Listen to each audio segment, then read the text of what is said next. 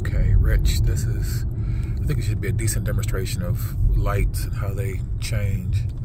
Let's see what happens here.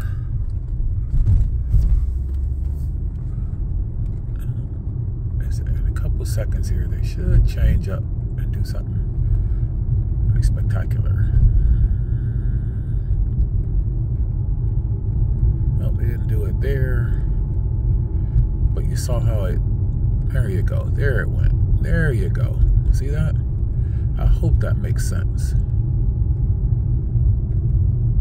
And how they do all this craziness with the with the lights.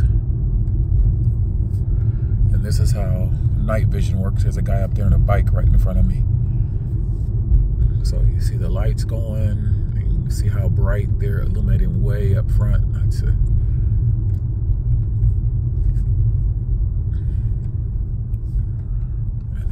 Down. I don't know if you noticed that or whatnot. They came down. They just slowed down. Let's see what happens if I turn the corner. How they how it looks. Let's see if I saw anything.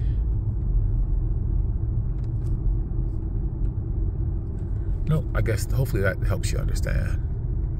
Well, actually, when I get to get down here, there's no streetlights on my cul-de-sac. I don't think so.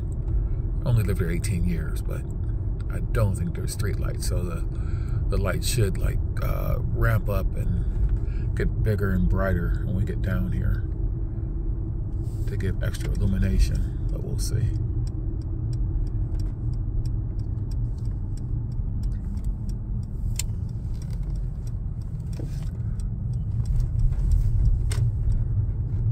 Uh, no, no dice, but pretty bright.